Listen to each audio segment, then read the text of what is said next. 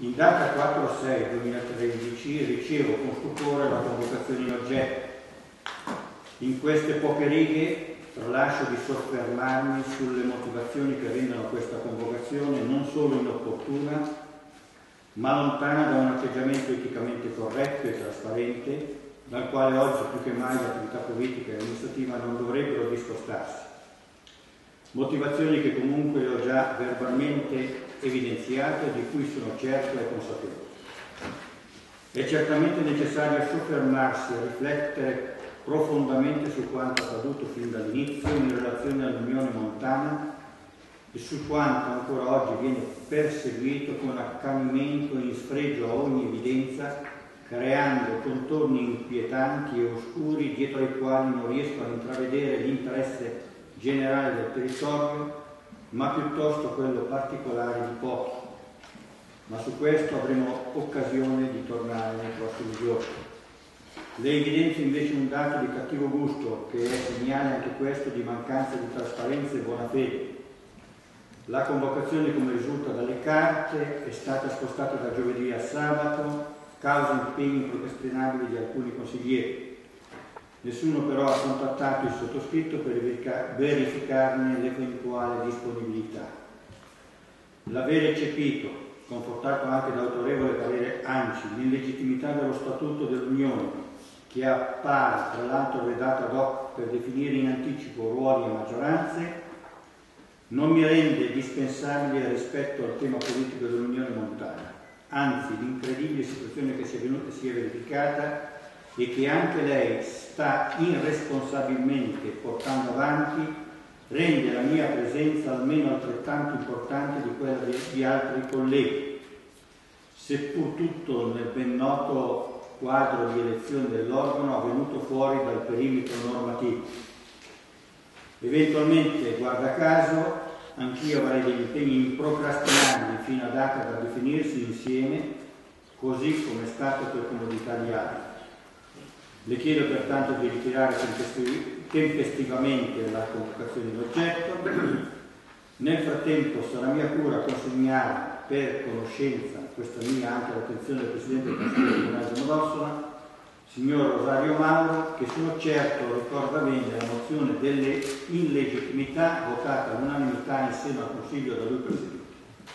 Lei forse, pur avendola votata, l'ha rimossa dalla sua memoria come gli impegni presi. Grazie per l'attenzione e distinti saluti.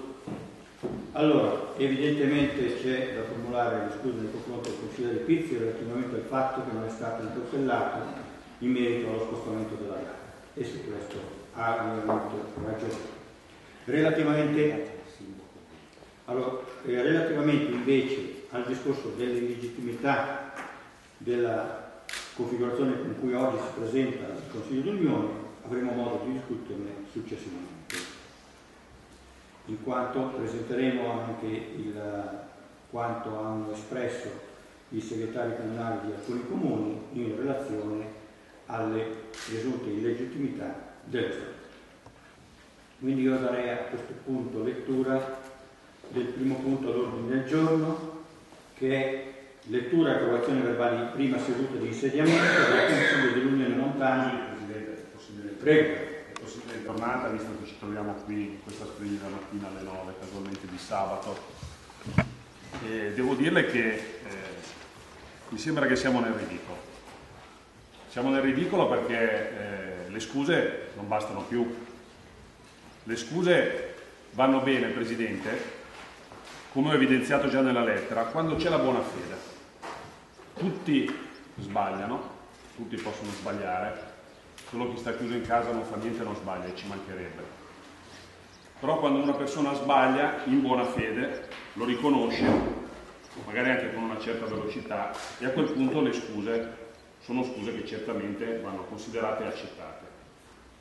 Liquidare questa questione con due scuse però è prendersi in giro e quindi io lo voglio evidenziare, anche perché Approfitto un attimo per eh, evidenziarle qualche altro problema che mi sembra veramente paradossale.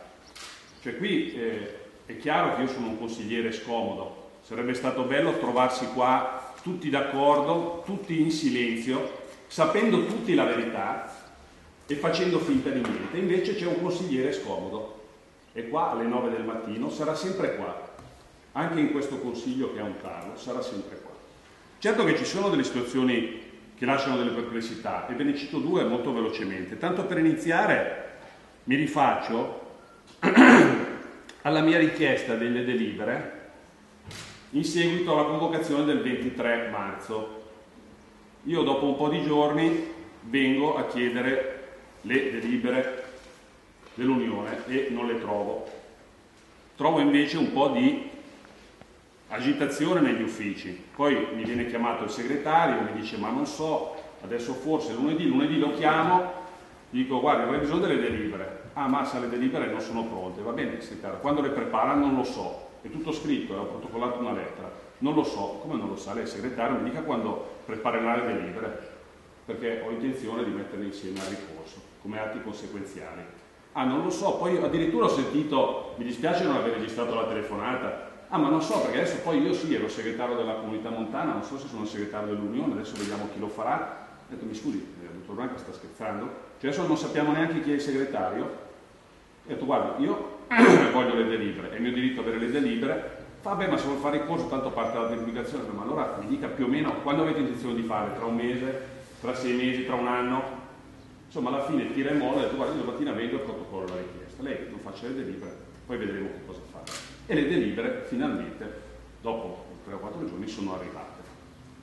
Vi cito un altro piccolo particolare. Ieri ho chiamato la segretaria del comune di Domodossola, qui vedo che c'è un parere, città di Domodossola, che io non ho avuto il piacere di leggere, perché ieri l'ho chiesto e mi è stato rifiutato. È una vergogna, sindaco. È una vergogna. Faremo poi delle riflessioni anche sui segretari. No, è così ma guardi, eh, lei tanto parli quando il Presidente le dà la parola, perché io l'ho chiesta, se no la faccio io il Presidente qua, tanto per iniziare. Se poi pensate di venire qua a citarmi avete sbagliato, perché già la democrazia manca, io ho imparato, io ho imparato che si parla chiedendo la parola. Quindi, dato che lei non è il presidente di questa seduta, è il sindaco Catrini, eh, mi ha dato la parola, se poi volete tacitarmi perché dico la verità, ieri ho chiesto questo parere e mi è stato rifiutato, è una vergogna. È una vergogna il sindaco Netflix. Poi ne, ne faccia, ci faccia un pensiero perché io, io debba arrivare qua e leggerlo per ultimo, quando qualche altro consigliere di Domo so benissimo l'ha letto e a me è stato rifiutato, è una cosa scandalosa. Bisogna poi anche cominciare a fare dei ragionamenti su queste cose. Come, e concludo, sulla convocazione di stamattina. Perché io martedì ricevo le due lettere, una la convocazione di giovedì, apro l'altra la convocazione di sabato, impegni improcrastinabili che potrei avere anch'io, potrete averli tutti, chiunque di voi. Io non devo essere contattato, non devo essere sentito, prendiamoci in giro. Continuiamo a prenderci in giro. Però vi dico, non c'è più bisogno di questo modo di fare attività politica amministrativa. Ricordatelo. Grazie.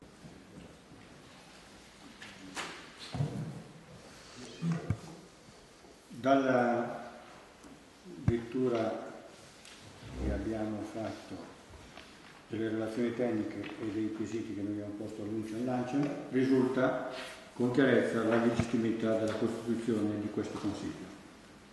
Rimane un tema di fondo. Il tema è quello relativo al fatto che i sindaci, parere dell'ANCI in eh, in questo senso ce lo indica con chiarezza, devono essere eletti. Allora, in considerazione del fatto che nel punto successivo siamo chiamati a verificare se intendiamo accogliere la proposta del Comune di Montescheno di entrare in unione, nel caso in cui accettassimo la sua richiesta di adesione, noi dobbiamo ovviamente modificare lo statuto e andare in Consiglio Comunale. Quindi in questo caso possiamo andare in Consiglio Comunale, modificare lo statuto consentendo a Montescheno di entrare, a Comune Montescheno di entrare e contestualmente eleggere in quel, in, quel, in quel, contesto il rappresentante di quel comune in seno all'Unione, quindi ratificando o modificando anche la stessa designazione da parte del comune.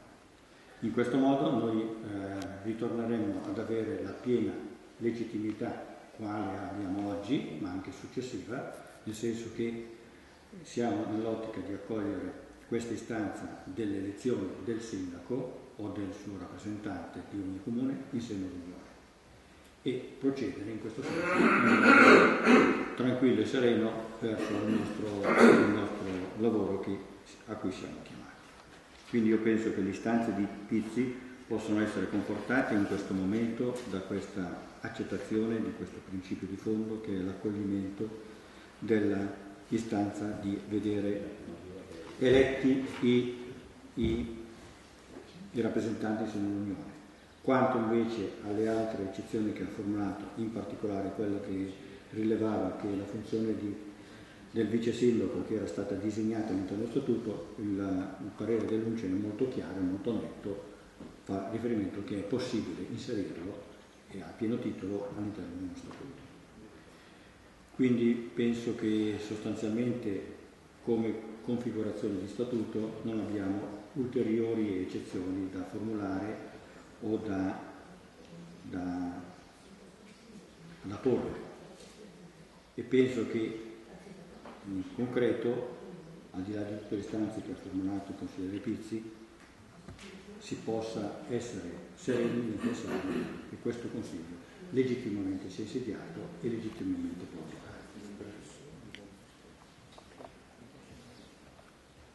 Prego. Anche perché questa mattina abbiamo preso atto sostanzialmente della problematica vista dal punto di vista soprattutto sulla legittimità o meno da questo punto di vista. Io credo però che sia doveroso anche chiarire come ognuno di noi si è proposto nei propri consigli comunali quando ha sottoposto lo statuto, perché è una questione che deve essere chiarita rispetto anche a quelle che sono le nostre responsabilità, perché sapete bene, lo sa anche il consigliere Pizzi, che a noi compete l'indirizzo politico, qui si tratta poi di chiarire il rispetto quindi come ci siamo mossi da questo punto di vista, perché questo è quanto ci compete e a chi compete invece la legittimità degli atti. Però una cosa la voglio anche dire in riferimento alle premesse del consigliere Pizzi, anche perché mi lasciano molto, eh, perlomeno, ecco, meritano una, un chiarimento. Pizzi ha sostenuto in un'affermazione, scusami ma quando dici di considerarti un consigliere scomodo, mi sembra una posizione molto prevenuta e personalmente mi tocca in un modo non opportuno. Cioè voglio chiarirla questa cosa anche perché nella mia esperienza eh, ho sempre adottato una rispetto, perché fa parte dei principi della democrazia, per chi viene democraticamente eletto. Quindi non esiste un pregiudizio da parte mia nei confronti dei consiglieri, anche perché insomma, la mia esperienza l'ho fatta da consigliere di maggioranza piuttosto che di minoranza. Il principio della democrazia vuole soprattutto che ci sia rispetto negli eletti, pertanto io questa questo pregiudizio quasi che, viene, che viene un po' come attribuito non lo, non lo posso accettare. Non ti considero un consigliere scomodo. Io credo che i rapporti di correttezza e di rispetto li valutiamo in questa sala, in questo consiglio e sono determinati da tipi di rapporto che si costruiscono insieme. Quindi questa cosa la considero una cosa deve essere chiarito, almeno per quanto mi riguarda. Nel merito delle scelte, io ho portato lo statuto in consiglio comunale esplicitando poi quello che prevedeva lo statuto in tutti i suoi contenuti e quindi anche in riferimento a chi doveva essere eletto in quel contesto senza sotterfugi ma in modo estremamente trasparente. Quindi mia, il mio compito, il mio indirizzo politico, l'ho condotto nella piena trasparenza e nella piena legittimità dal punto di vista politico, chiedendo che poi, perché questo era esplicito nello statuto, che con l'approvazione dello stesso era implicito che venivano approvati anche i criteri di come venivano veniva a comporsi il Consiglio. Quindi con estrema trasparenza, con estrema chiarezza e nel rispetto della piena democrazia ho raccolto il consenso e la maggioranza dell'approvazione di questo statuto. Quindi, per quanto mi concerne, per quanto mi riguarda, credo di non avere niente di cui dovermi eh, pentire da questo punto di vista. Per essere chiaro. Quindi, per, quali, per quello che mi competeva, io credo di essermi eh, legittimamente eh, comportato nel mio consiglio comunale. Ma, eh, non so da dove iniziare. Penso che prima di tutto eh, spenderò due parole rispetto a quello che ho sentito adesso e che mi ha anche toccato e che mi sento assolutamente di condividere perché credo sia evidente che non mi ha mai sfiorato il cervello che tutti a questo tavolo fossero perfettamente consci di quello che stava accadendo. Perché è chiaro che i sindaci fanno il loro lavoro sono in trincea tutti i giorni, con i problemi di tutti i giorni sono tanti, i segretari dovrebbero fare loro, mi sembra che lo stiano facendo molto male, molto male, e su questo torneremo a discutere sicuramente, adesso poi credo che mi diletterò anche già solo nella lettura dei curriculum, eccetera, eccetera, ma questo è un altro argomento. È chiaro che un sindaco si affida anche al segretario comunale, non può leggere tutto, non avrebbe neanche il tempo di leggere tutto. Sì, potremmo stare qui a disquisire, forse vista l'importanza si potrebbe dargli una lettura, ma non è che si può pensare, ripeto, che un sindaco tutti i giorni in trincea si lega lo statuto, poi vada a leggersi la legge nazionale, poi quella regionale, legge e passi le giornate così perché non, non finisce più. Dici, ma figurati te se c'è qualcosa che non va, perché dovrebbe esserci qualcosa che non va. Era uno statuto che si metteva giù in un quarto d'ora, senza nessun problema e invece porta discussioni da due mesi. E quindi questo è chiaro. Qualcuno invece, mentre veniva redatto, forse l'ha letto molto bene. E qui ognuno quando va a casa al mattino si alza, si guarda allo specchio e, come ha detto il collega Colombo, sa poi se è tranquillo nel suo operato amministrativo oppure no. Ci mancherebbe che un sindaco che ha portato uno statuto in consiglio abbia qualcosa da recriminarsi. Quello che però poi deve far riflettere, e qui sì, i rapporti li valutiamo sul percorso politico, amministrativo, e mi perdonerete se mi spingo addirittura sul personale, perché ho anche degli amici qua, persone che non conosco, ma ho persone invece che conosco bene e che fino ad oggi ho rispettato. E il rispetto bisogna guadagnarselo.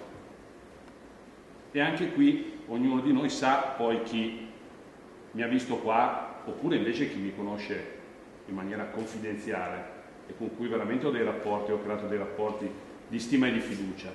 E allora se nella prima fase è vero quello che dice il collega Colombo, non lo può essere più quando alcuni dati vengono chiaramente evidenziati, perché allora le responsabilità cambiano.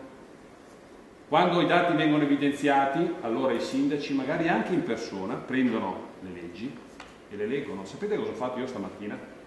Per iniziare bene questa mattinata mi sono andato a rivedere il video dell'altra volta, è stato davvero divertente, più di un film comico.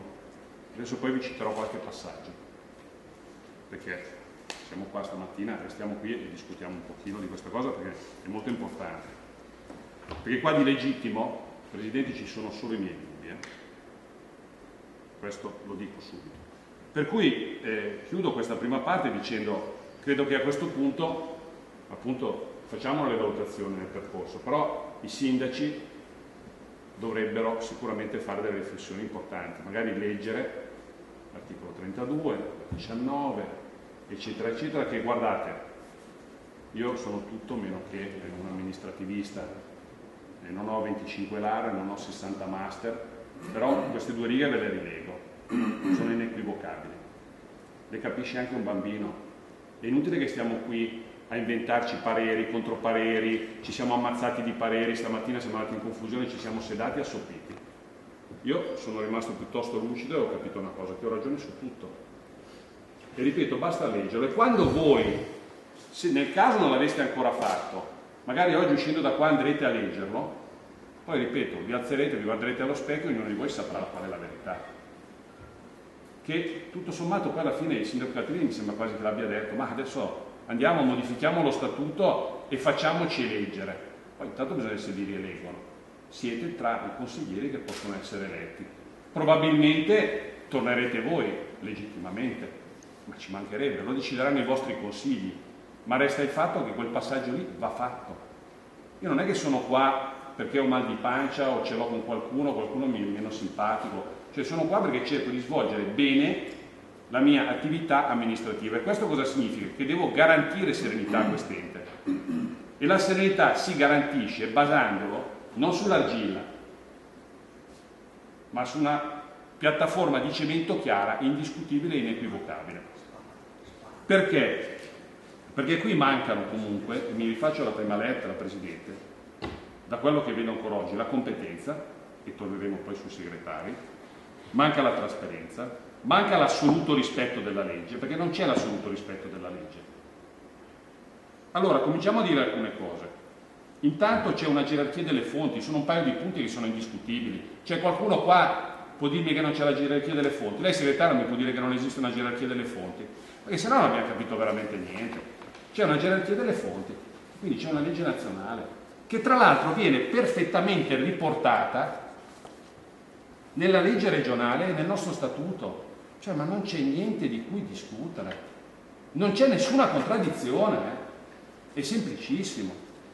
Inoltre, eh, tutta quella pappardella so, sull'autonomia è una pagliacciata, perché l'autonomia c'è finché la legge te la consente, lo sappiamo benissimo tutti, e proprio perché c'è una gerarchia delle fonti, la legge ti ha già detto lì su un paio di cose, su un paio di punti chiari, che cosa puoi fare. Basta.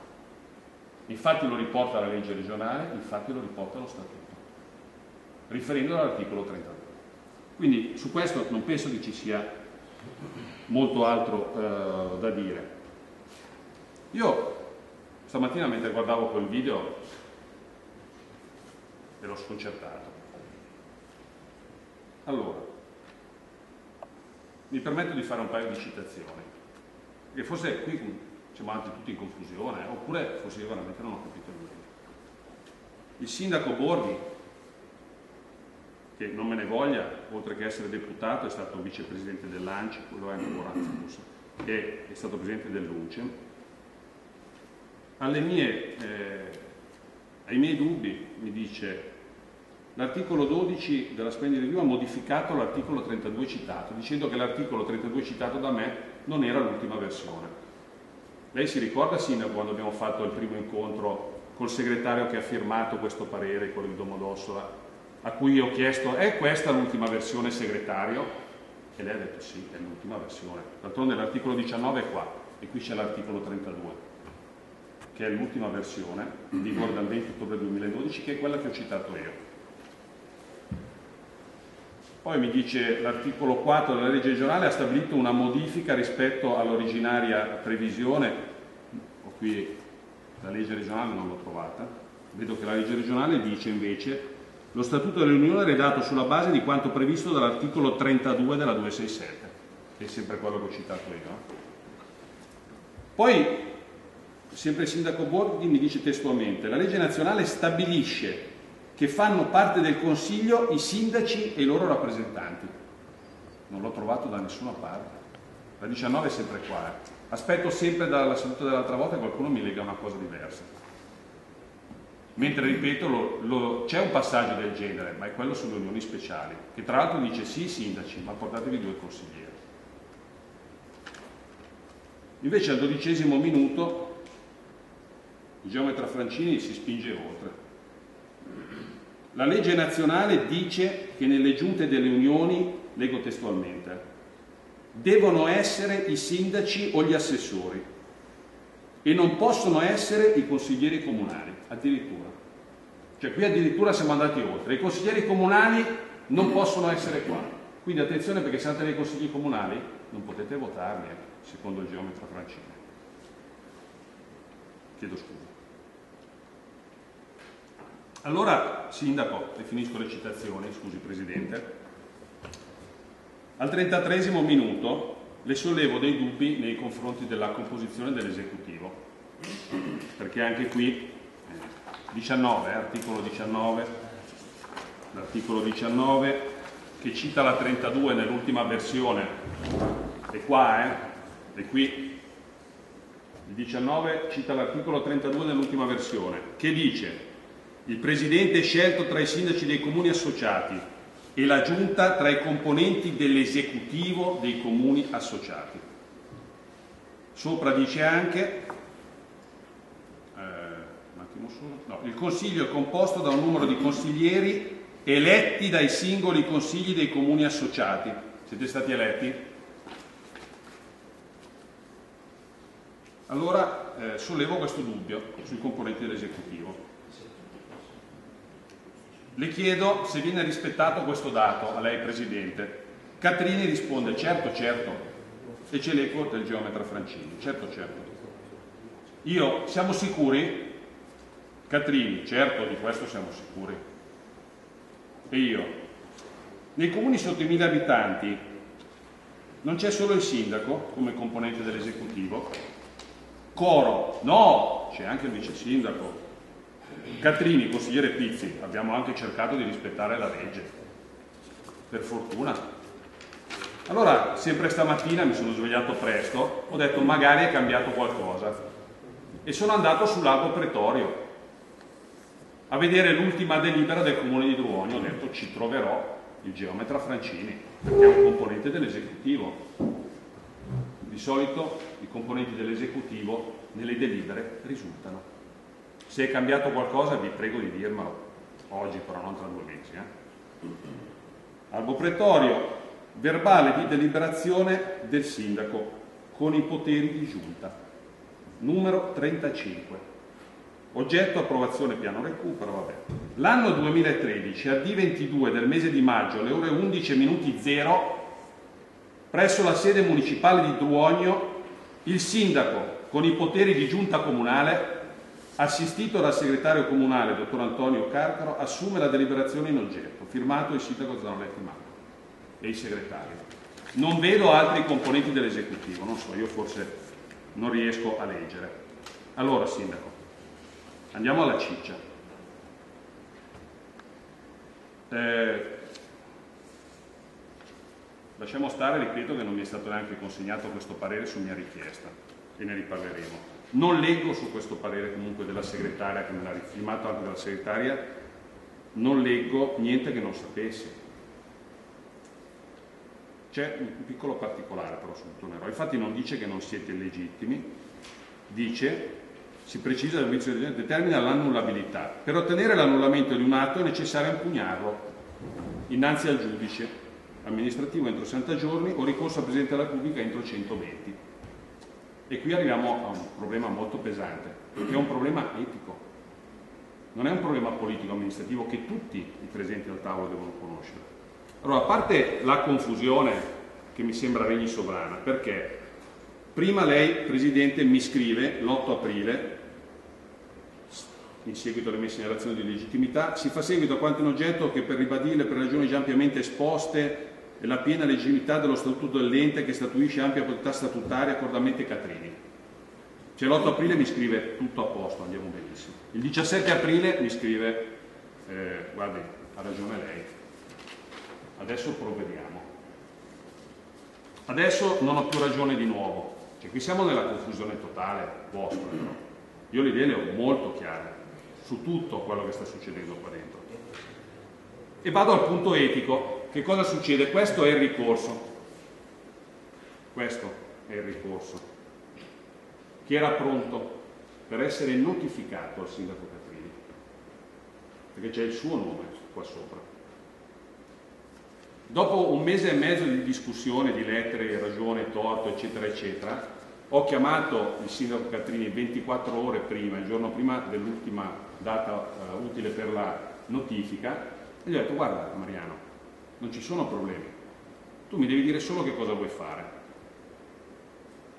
Vuoi andare avanti così? Non c'è problema, cioè, ognuno fa la sua strada, fa le sue scelte, io notifico il ricorso. Non è un bel ricorso. E quando arriverà l'esito di questo ricorso, forse dovrai anche pensare a dimetterti. Se no, mi dici che non vuoi che io notifichi il ricorso, è una scelta, cioè, non gli ho puntato una pistola. E a quel punto che cosa fai? Chiaramente non convochi più quell'organo che sai essere insediato illegittimamente, poi ci voleva un attimo, avevamo già finito un mese fa. In un quarto d'ora, invece che andare a cercare arzigogoli e cose strane da mettere nello statuto per fare un po' le cose così, bastava prendere quello che c'è scritto nell'articolo 32, far copia e incolla e metterlo dentro sull'elezione dei consiglieri e sul componente dell'esecutivo, ci voleva un quarto d'ora. Il punto dopo, in tutti i consigli, si metteva l'elezione dei consiglieri, si faceva una settimana dopo. Dopo tre giorni ci convocavamo, avevamo già risolto ogni problema, un mese fa almeno non eravamo neanche qua a discutere. Ho detto guarda, se fai così, ok, se no io notifico. Mi fa no, non notificare, ti mando due righe dove ti scrivo che adesso provvedo e hai ragione. Però voglio leggere che cosa c'è scritto su questo ricorso, perché un sindaco che prende un ricorso così e lo perde, e lo perde, non è una bella cosa. Gli atti impugnati sono palesemente illegittimi e vanno annullati per le seguenti ragioni di diritto. Violazione e falsa applicazione dell'articolo 32, 42 e 48 dell'8-18 agosto 2000 numero 267. Violazione e falsa applicazione dell'articolo 1, 2 e 4 della legge regionale Piemonte 28 settembre 2011. Eccesso di potere per sviamento e travisamento della causa e incompetenza. Ora io dico questo, non mi sembra un atteggiamento etico dire non notificare il ricorso perché faremo un tipo di percorso in questa maniera velocemente, che non era, ripeto, niente di... avevamo già finito un mese fa, e quando poi mi scadono i termini, mandarmi questo, non mandarmi, non me l'avete neanche mandato, questo parere dove c'è scritto quello che so benissimo, eh, non l'ha impugnato, eh, adesso non l'ha impugnato, eh, ok, non l'ho impugnato. Vi dico però una cosa, che forse è meglio che sappiano tutti anche qua. Eh, qui c'è scritto che non è vero che viziano insanabilmente gli atti, eccetera. Questo lo vedremo, perché voi avete due tagli e non ve li togliete più. L'illegittimità non ve la togliete. La presenza in giunta di chi non ci può stare non ve la togliete. Al primo contributo, al primo concorso, al primo appalto, qualunque cosa. Io sono certo, incontrerò un cittadino, un'associazione, che sentirà il suo diritto leso, perché magari dice no, ma il contributo perché a loro e non a me, oppure l'appalto, e a quel punto scatterà il ricorso. E a quel punto tornerà tutto in discussione.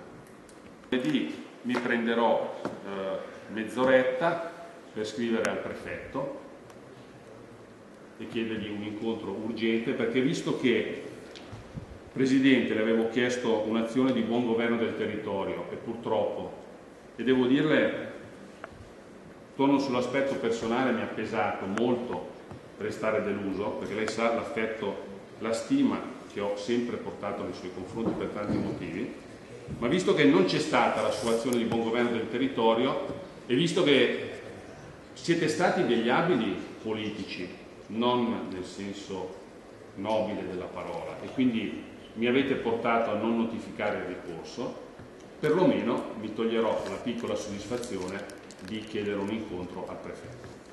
Grazie. Disanima del percorso effettuato e della sua rinuncia al ricorso in relazione al fatto che da parte mia c'era stata la disponibilità a verificare la volontà o meno dello statuto nella sua legittimità io devo semplicemente fare questo rilievo al consigliere Vezzi, che il lavoro fatto, i pareri acquisiti e i lavori svolti dai segretari comunali hanno portato a questi dati di fatto incontrovertibili, vale a dire la legittimità della costituzione di questo Consiglio con questi autorevoli, eh, con questi autorevoli prese di posizione e pronunciamenti e dall'altra l'impegno che ci stiamo assumendo là dove a noi pare deve evidenziare lo statuto, vale a dire l'elezione dei componenti del Consiglio, per cui noi in questo momento stiamo dicendo che contestualmente nel momento in cui questo Consiglio accoglie l'ipotesi che Montesquieu fa parte dell'Unione, noi andiamo nei Consigli e procediamo a far sì che questa elezione dei componenti del Consiglio avvenga. Quindi la parte sostanziale fondamentale, e faccio riferimento anche al parere dell'ACI. Quindi io penso che da questo punto di vista lo Statuto viene riportato nella sua piena legittimità e la Costituzione stessa del, di questo Consiglio è riaffermata nella sua legittimità e quindi può lavorare come deve lavorare. Eh, lei fa riferimento a un altro problema, che è la presenza del vice sindaco di un comune sotto i mille abitanti. Questo non è presente nello statuto e quindi non è oggetto di attenzione in questo momento del Consiglio andare a verificare la bontà di questo atto che in questo momento è quello del Presidente di questo Unione. Quindi io questa sottolineatura la voglio fare e voglio fare anche l'altra sottolineatura, che è questa. A fronte delle perplessità che sono nate, delle indicazioni che sono, sono estremamente eh, aleatorie, perché noi abbiamo una normativa regionale che dice delle cose, una normativa nazionale che dice delle altre. E giustamente, e giustamente noi sappiamo che il percorso legislativo deve avere chiarezza anche in merito. Però voglio anche precisare che una, una chiarezza dai, dai, in merito da parte dei quesiti fatti formulati non c'è stata. Perché come molto puntualmente è stato precisato con chiarezza che devono essere eletti, non abbiamo avuto una altrettanta chiarezza nel, nel pronunciarsi in merito. A quanto, quanto per quanto riguardava il vice sindaco del comune del, del, un comune sotto i abitanti. Però è altrettanto vero che quanto Pizzi ha detto è altrettanto vero. Quindi è mia cura questo punto, guardare e sottolineare questo aspetto in, una seconda fase. In questa prima fase desidero soltanto sottolineare questo, che il, lo statuto è il, l'approvazione dello statuto in questo momento è avvenuto secondo dei crismi corretti, le modifiche che apporteremo daranno piena legittimità alla presenza di tutti i consiglieri che sono all'interno. E abbiamo anche precisato che gli atti finora fatti sono corretti, sono legittimi, sono annullabili eventualmente, ma non essendo annullabili, sono legittimi. E la legittimità sarà piena nel momento in cui noi abbiamo la ratifica in, dei consigli comunali o la modifica dei consigli comunali sulla venuta presenza dei consiglieri dei, dei diversi componenti in questo, in, questo, in questo consiglio. Quindi io direi a questo punto che possiamo, se non ci sono altri interventi, approvare quanto noi ci avevamo messo, cioè prendere d'atto dei lavori svolti e della legittimità della costituzione di questo Consiglio, di come opera e di come opererà, perché è nella sua piena diritto e nella sua piena legittimità operare. Prego.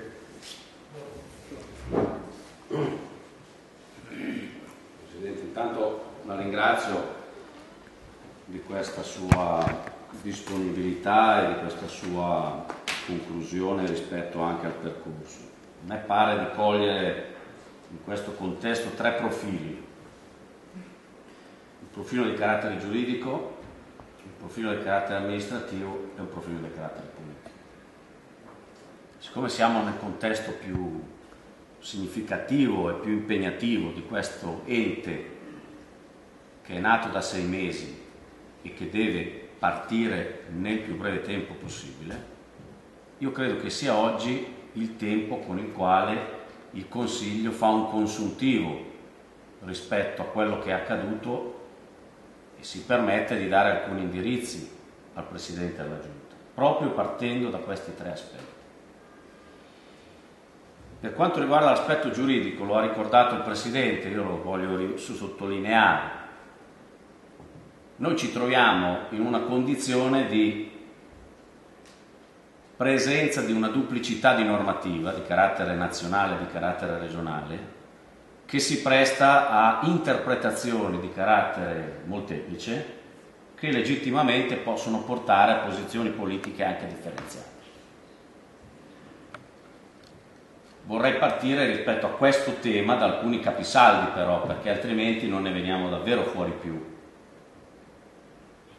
che sono stati peraltro ricordati all'interno delle relazioni che sono state portate qui e che credo verranno allegate agli atti e che confermano dal mio punto di vista l'assoluta legittimità di questo Consiglio, di questi organi, di questo ente. Questa è una forma associativa tra comuni. Sulla competenza primaria legislativa tra Stato e Regione in ordine alle forme associative nel nostro Paese sono stati impiegati, spesi, buttati via, decidetelo voi, almeno 15 anni. Fino ad una sentenza della Corte Costituzionale su iniziativa di un'associazione che ho avuto l'onore di presiedere, che ha stabilito in maniera molto chiara come la competenza legislativa in ordine all'organizzazione degli organi delle forme associative residui nelle competenze residuali esclusive della Regione. Perché la riforma del titolo quinto del 3 ottobre del 2001 ha sancito come competenza esclusiva, articolo 117, lettera P della Costituzione dello Stato, la competenza della determinazione degli organi costituzionalmente previsti. Comune, provincia, città metropolitana, regione e Stato. Quindi noi abbiamo una sentenza della Corte che fa giurisprudenza costituzionale che definisce quella che è stata citata in precedenza in rapporto alla gerarchia delle fonti che non è una gerarchia stabilita da un principio gerarchico tra le istituzioni che non esiste, perché l'articolo 114 della Costituzione non stabilisce un principio gerarchico, non c'è lo Stato sopra, poi la regione e poi il comune, perché sono tutti equiordinati. E le competenze legislative sono suddivise in rapporto all'articolo 117 della Costituzione. Per cui, in omaggio alla gerarchia delle fonti, vige e non a caso il prefetto del Verbano Cusio non ha scritto al ministro dell'interno per chiedere una formulazione in ordine al quesito posto, ma ha scritto alla regione Piemonte, non a caso il parere dell'ANCI rimanda alla competenza regionale, in base al principio della gerarchia delle fonti, questo è un nodo che deve essere sciolto da chi ha scritto la legge sulla base della quale è stato costruito questo statuto, ovvero il legislatore regionale piemontese. Dopodiché non vi è dubbio che anche questo tipo di discussioni rimandano ad una esigenza di armonizzazione, di, di chiarimento normativo di carattere sistemico, perché credo che se ci addentrassimo nel merito delle questioni di natura giuridica in rapporto al titolo quinto della Costituzione, ci sarebbero anche dei limiti al legislatore regionale di poter entrare nel merito della determinazione della libera scelta dei comuni in rapporto alla propria rappresentanza. E anche su questo ci sono delle espressioni giurisprudenziali molto chiare, che rimandano all'autonomia statutaria dei comuni e del singolo comune in specie la responsabilità rispetto all'indicazione di chi sia il proprio rappresentante. Quindi se entriamo su questo terreno, questo aspetto è sufficientemente chiaro per poterci consentire di affrontare con la necessaria serenità e con la dovuta solerzia le impegnative scadenze che abbiamo di fronte. Io non rileggo qui le cose che sono state scritte dai segretari comunali, però, visto che ancora viene evocato questo tema, repetita Juvan, tutti gli atti compiuti sono validi ed efficaci. Gli atti non sono annullabili in maniera complessiva, ma eventualmente unilateralmente su un singolo punto specifico. L'articolo 14 dello Statuto non è in contrasto con la legge, l'articolo 17 non è illegittimo, ma rimanda all'opportunità e quindi alla politica. Io credo che il Presidente dell'Unione quest'oggi abbia voluto compiere un gesto politico per chi lo sa leggere, rispetto al tema della validazione, conferma, supporto dei consigli comunali in ordine all'indicazione dei componenti di questo consiglio.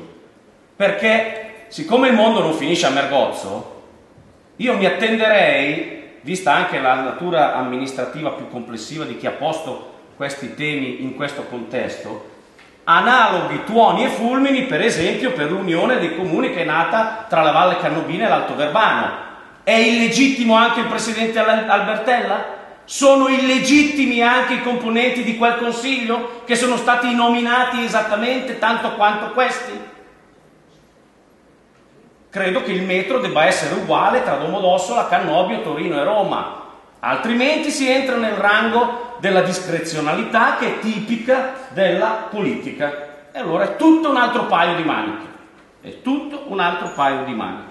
Per cui io credo che dal punto di vista strettamente giuridico e formale, anche in rapporto a questo tipo di dibattito e alle questioni che sono state portate all'attenzione di questo Consiglio, questo ente sia pienamente legittimato a procedere lungo la seconda questione che qui vorrei sottolineare, che è l'aspetto amministrativo, perché vede, consigliere Pizzi, il comune di Domodossola può anche prendersi il lusso di dibattiti politici che sono a metà strada fra il salottiero e il convenistico. Ma gli altri comuni sotto i 3.000 abitanti questo lusso non se lo possono permettere.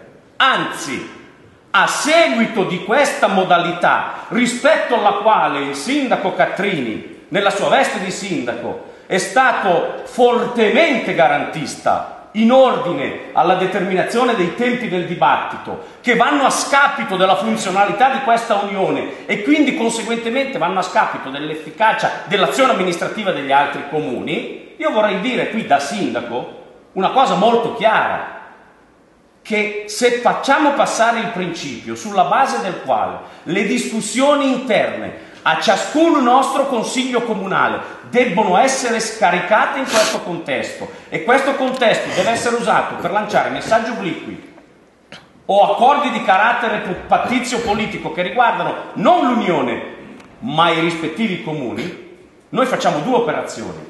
L'Unione muore, e credo che questo a qualcuno, anche a questo tavolo, non dispiaccia troppo. Ma il problema vero è l'azione amministrativa dei comuni che sono obbligati entro il 31 dicembre di quest'anno a esercitare nove funzioni su 10 in maniera obbligatoria dal punto di vista gestionale. E allora io mi domando, è più importante una discussione certamente significativa rispetto alla quale Forse se ci avessimo impiegato non sei mesi, si sarebbe forse guadagnato un po' di tempo, ma è più importante far ruotare il dibattito del futuro dell'Ossola attorno a temi che A possono essere sciolti in sede giurisprudenziale e B probabilmente potranno essere affrontati dal punto di vista legislativo oppure più importante che noi di- discutiamo e magari decidiamo e se possibile troviamo un'intesa e se non troviamo un'intesa ci accaloriamo su cosa fare sui rifiuti, su cosa fare sull'acqua, su cosa fare sui trasporti, su cosa fare sulla centrale unica di committenza, su cosa fare per la riorganizzazione dei nostri livelli amministrativi. Di questo non ne abbiamo discusso, perché tutto il dibattito verte in maniera strumentale attorno a una questione che con oggi chiedo cortesemente che venga definitivamente consegnata agli archivi per quanto riguarda l'attività amministrativa. Perché di questo stiamo parlando. E l'Ossola su questo si deve interrogare. Nel momento in cui ci sono delle normative che stanno incidendo profondamente sul futuro dei piccoli comuni, nel momento nel quale ci sono partiti che in Parlamento si alzano per chiedere lo scioglimento dei piccoli comuni. Allora, non vorrei che nel mentre noi ci balocchiamo, il mondo fuori va da un'altra parte e poi ci riscopriamo il 29 di dicembre di quest'anno che improvvisamente c'è qualcosa da fare. Noi questo lusso non ce lo possiamo permettere, perché ci sono delle questioni rispetto alle quali, per esempio, dal primo di aprile i comuni sotto i 5.000 abitanti hanno l'obbligo della centrale unica di committenza, quindi non possono più appaltare in forma singola. E che cosa facciamo? Blocchiamo gli appalti della Valdossola perché noi stiamo discutendo solo di un pezzo certo, in realtà rilevante, significativo, ma sufficientemente sviscerato?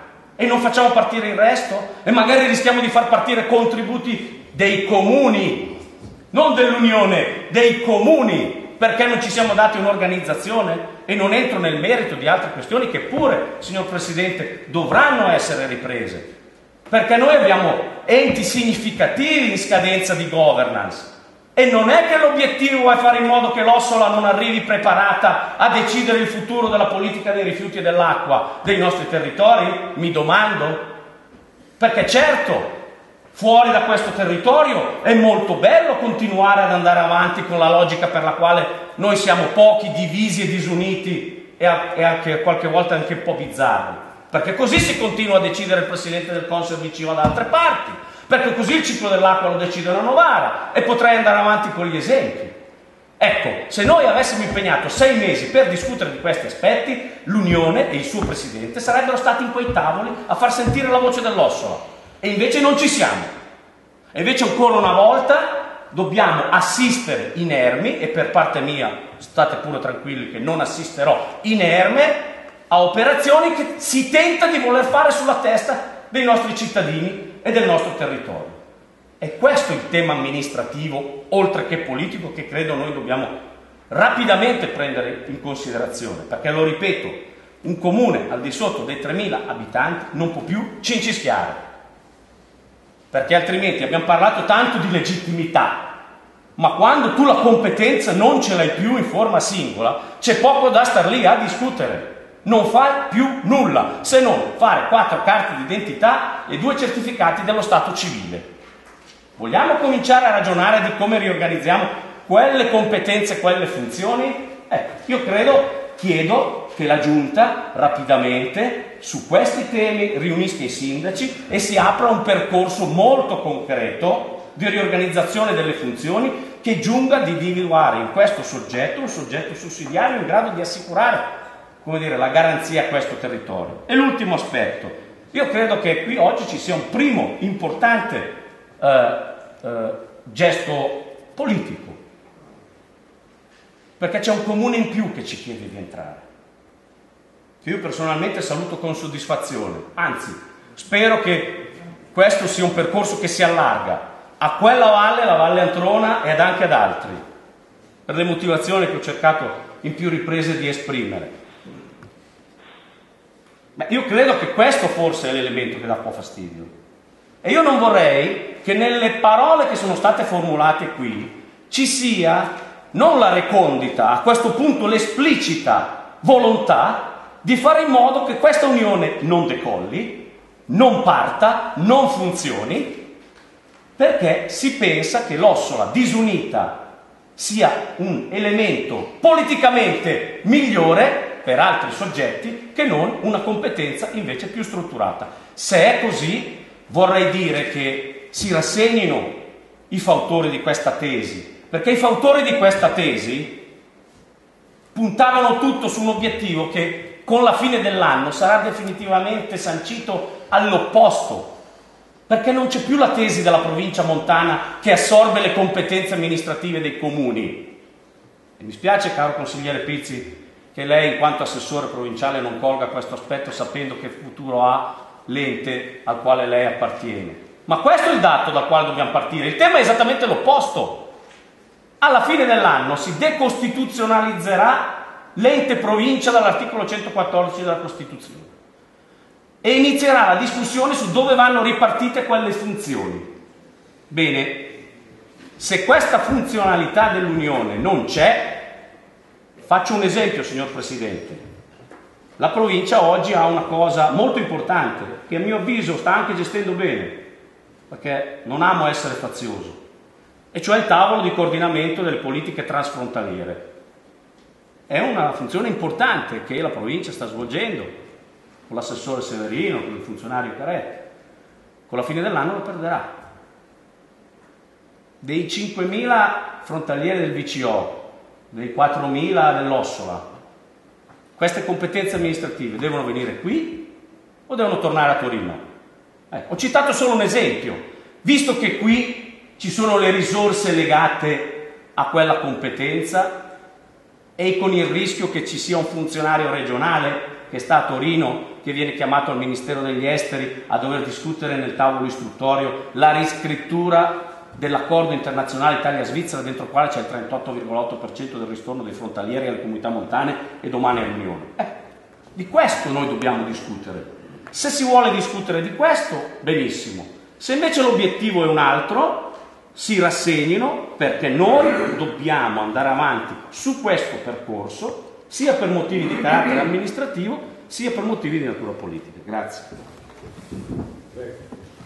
Già detto tutto quello che c'era da, da dire prima e non voglio diciamo, eh, scendere a un profilo di discussione che è solo fumo, fuffa, per distogliere l'attenzione dalla realtà. Però voglio dire alcune cose. Finalmente ho sentito dire una cosa corretta dal sindaco Borghi.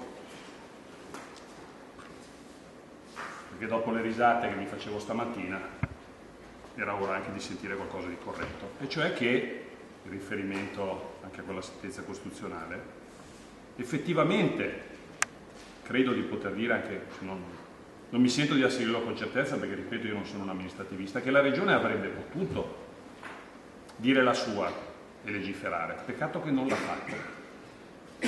E quindi i se e i ma, non fatevi ingannare dal se ma, è tutta fuffa. Tutta fuffa.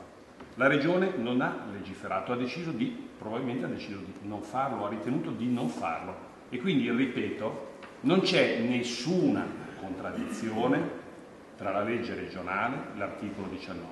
La Regione invece dice lo Statuto dell'Unione è redatto sulla base di quanto previsto dall'articolo 32 non c'è nessuna contraddizione. Cioè qui stiamo a discutere da mesi, non perché qualcuno ha chissà quale disegno politico contrario all'unione dell'osso, a me fa ridere questa storia qua, perché io ho fatto i fatti, non le parole e la fuffa. Quando la gente era qua a rubarsi l'acqua dell'ossola, io ho difeso l'acqua pubblica. Quando in giù l'atto e le altre società facevano disastri, abbiamo salvato una specificità territoriale e oggi, oggi anche i tribunali su alcune situazioni ci stanno dando ragione. Questa è la verità, quindi io non, ho, non prendo lezione que su questo da nessuno. Neanche noi da te. Sto parlando io, io non l'ho interrotta, vedo che di nuovo, vedo che di nuovo lei che pure dovrebbe essere una persona abituata alle sale, non ha il rispetto. ha, l'ha fatto lei a noi, ha cercato no, di farlo lei a noi. Con la differenza che io ho ascoltato in silenzio e non ho interrotto. Con me la fuffa sindaco non funziona. Con me la sindaco. Voi voi non tutelate niente, voi volete fare le cose come vi andava di farle. Cioè non è che, eh, oppure non avete capito, probabilmente qualcuno non ha capito, non vi siete accorti che i segretari non hanno capito, decidete poi voi, mettetevi d'accordo. Però qua cioè, è tutta fuffa, perché non c'è nessuno che non vuole far partire un progetto, che non vuole che i comuni non abbiano problemi sulle centrali di committenza. Qui semplicemente si vuole invece la cosa contraria, cioè che non ci siano problemi, che qualcuno non si alzi al mattino e dica io ho visto il mio interesse lesoli e allora poi vediamo se eravate legittimi o no. Poi dopo vedremo, per una stupidata, per niente, per niente, per non applicare semplicemente quattro righe, una cosa che si sistemava in una settimana e questa la fuffa, e questa è la fuffa, e toglietevi dalla testa di archiviare questa cosa.